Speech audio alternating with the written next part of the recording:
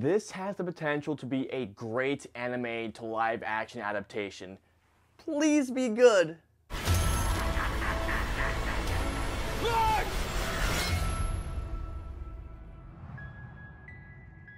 What they want is a god. So let's give it to them. So Death Note is the latest film that is based off of an anime to be brought to live action. And in Death Note, we follow a Light Turner played by Nat Wolff, a high schooler who happens to stumble across a Death Note when it falls down from the sky. And when he discovers the power it holds, which is killing somebody when he writes a name in the book, he also finds that a death god named Ryuk, played by Willem Dafoe, is following him. So him and his girlfriend, Mia Sutton, played by Margaret Qualley, decide to rid the world of criminals. They have cops following them, and among them is an enigmatic cop, L, played by Lakeith Stanfield. Alright guys, so let's get into Death Note. I was really looking forward to Death Note for a few reasons. I love the anime. I haven't quite finished the series yet, but I've gone about halfway through, and from what I've seen from the series, I love it. Second reason is because Willem Dafoe was voicing Ryuk, and if anybody could voice Ryuk, it would definitely be Willem Dafoe. From hearing his laughs, uh, he's perfect for the guy. And the last thing is that Adam Wingard was directing, and I am a huge fan of his from VHS 1, VHS 2, You're Next, the Guest, and Blair Witch, which I thought, which I thought was pretty underrated. And then plus, before it even came out, it was getting so much backlash from fans saying Netflix, Adam Wingard, and the cast had killed Death Note, and I was one of the few people saying, guys, give this movie a chance before you rip it to shreds, alright? So I watched it and I gotta say to you guys, it's not a terrible movie at all. The most I could say about the cast is that they tried their best with the script that they were given. Nat Wolff, who I have liked in the past, I thought did the best that he could possibly do with the script he was given, and there were a few times where I thought that he really did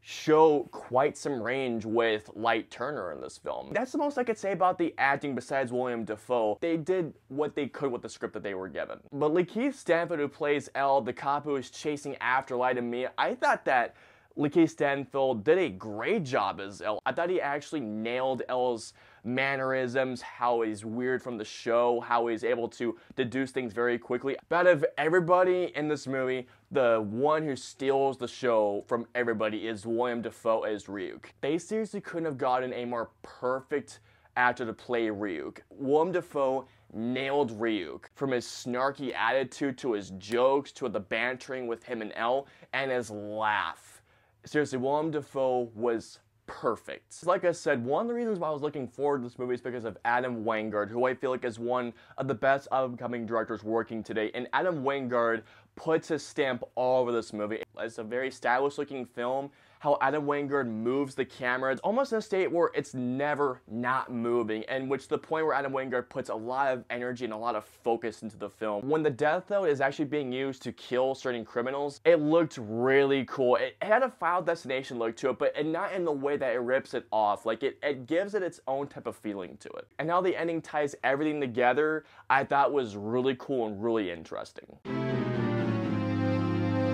Unfortunately, while Death Note isn't a terrible movie per se, it's not quite a good film. It's just, it's disappointingly decent. Now, like I said, while the actors do enough with their characters, the biggest problem I have with the characters is that the characters aren't given really that much development. Light is given maybe a few sentences for his character, but I just didn't feel anything. Margaret Qualley, who I, I like as an actor, I liked her acting enough in this movie, but there were just times where how she emoted, it seemed like she was overcooking it a little too much. Like there was a scene where she was pretty much doing this.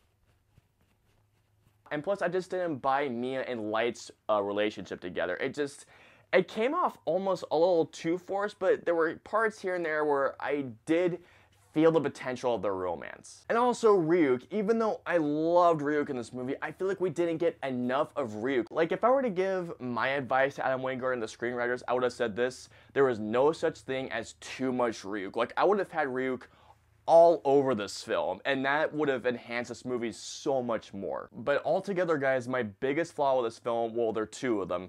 It's the script and the runtime. The script feels way too rushed. When you watch the anime, the anime is, I believe, 36 episodes, so it's so it's given plenty of time to, to develop this big arc with Light, Mia, Ryuk, L. But with the film, the film is about an hour 40 minutes. I would describe Death Note like a fine wine that's not given enough time to breathe. Had the film given time to breathe, we could have had better character to the film. The story wouldn't have been as rushed. And my last thing was that there were some scenes, like there were some big plot twists that were way too predictable. Like there's this one plot twist that happens near the end of the film in which I called out 45 minutes before it happened.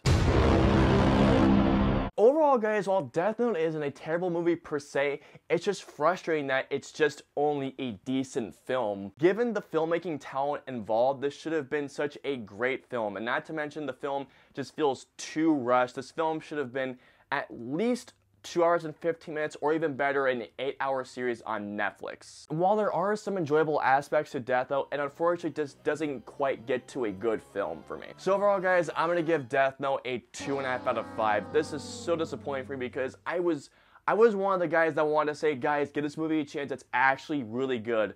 But unfortunately, it just didn't get there for me. Alright guys, so comment out and let me know below. Are you guys looking forward to Death Note? If so or if not, let me know below. Or let me know below. Are you guys a fan of the anime series? Let me know below. If you guys want to follow me on social media, I'm on Facebook, Twitter, Instagram, Twitch, and I'm also on Snapchat. So if you guys want to follow me on all those social media platforms, all the links and the usernames are in the description below. I hope you guys liked my review of Death Note. If so, please hit that like button and also subscribe to see more reviews just like this one. If you guys want to see my review of The Hitman's Bodyguard, please click right here. And if you guys want to see my review of Logan Lucky, please click right there. And of course, until the next review, I will see you guys next time.